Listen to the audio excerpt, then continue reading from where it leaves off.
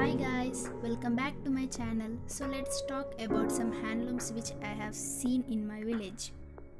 I have collected only some handloom pictures I am showing you. So these are the handlooms which I have seen in Nalgonda district. This is a machine called Sancha in Telugu. It is a Sancha to make a sari on it and nowadays we are using it we can make any cloth with this machine.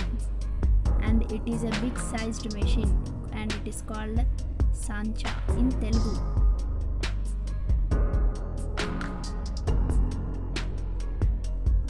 Opposite to that sancha machine this is a maggam.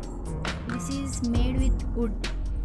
At those days we use this maggam to make cloth. So here it is a chunni making which in the maggam it is a one side of the maggam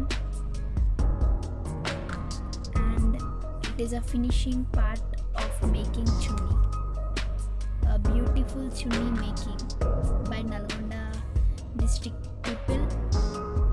These are the threads which used to make that chunni we say this as pusalu in telugu.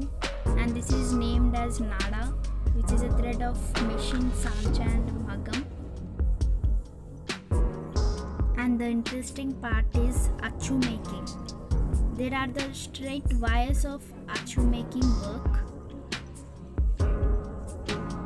And these are the bunches called ladilu. With these we used to make achu. And this is a process of making achu. An interesting part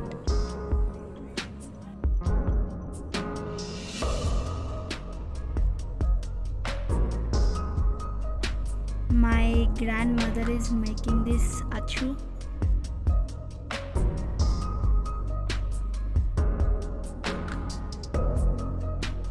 They used to keep sunnam to attach the threads.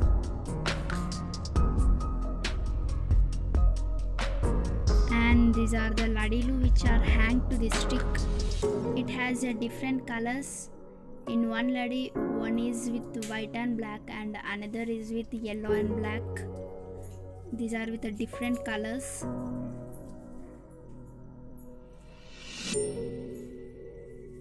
And these are the cheneta cloths.